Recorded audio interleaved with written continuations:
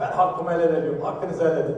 Ben aday falan değilim. Allah'a emanet olun. Helalleşti, aday olmayacağını duyurdu ancak işçiler onu bırakmadı. Yeniden genel başkan seçti. Toplu iş sözleşmesi sürecinde hedef alınan Türk İş Genel Başkanı Ergün Atalay'a işçilerden büyük destek geldi.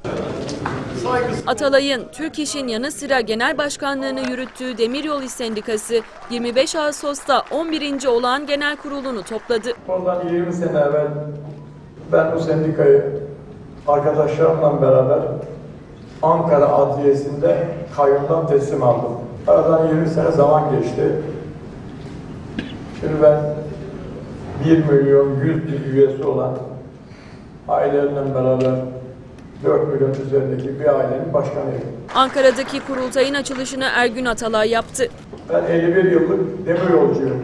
Atalay, toplu iş sözleşmesi anlaşması nedeniyle gelen eleştirilere yeni bir yanıt verdi. Bugünlerde unuttuğun eşi ve dostu hatırlıyorsun. Düşmanları da hatırlıyorsun. Bütün vekiller sağcısı solucusu ittifak etti. Gazeteciler, köşe yazarları, ilericisi gerisi ittifak etti. Bana bilemediklerini bırakmadılar. Başınızı aşağı düşürecek bir şey yapmam. Ben sizin sayenizde oğlum avukat oldu. Ben ilkokul mezunuyum. Kızım benim doçent oldu. Hep sizden aldığım parayla oldu. Yalnız bir şey vallahi yapmadım.